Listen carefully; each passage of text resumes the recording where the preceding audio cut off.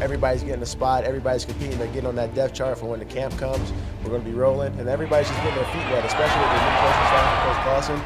Uh, people entering the program probably didn't get the D or the offensive pat, down pat last year. Playbook-wise, this is your chance. It's your chance to get in the, and the coaches' minds, get in their hearts, see what they're doing, and just learn. So I mean, it's just, just competing, and that's I think everybody's favorite part, which is why we play football. So that's the biggest on spring. Wolford to the goal line for the touchdown. White.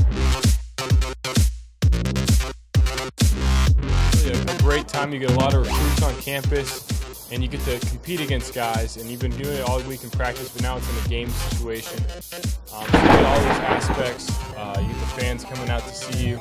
And it's your first time playing since the end of fall, so you get to be back on the field in really a game environment. Um, just trying to emulate that uh, environment in the spring game. Right? And it shows the progress you made from fall to spring.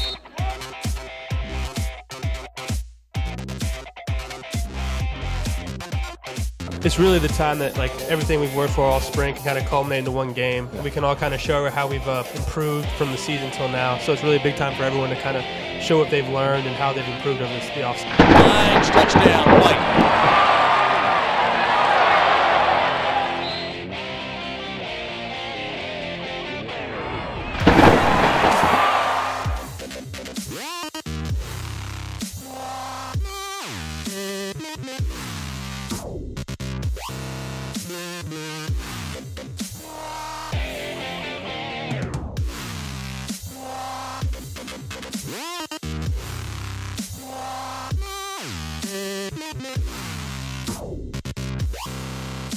Yeah.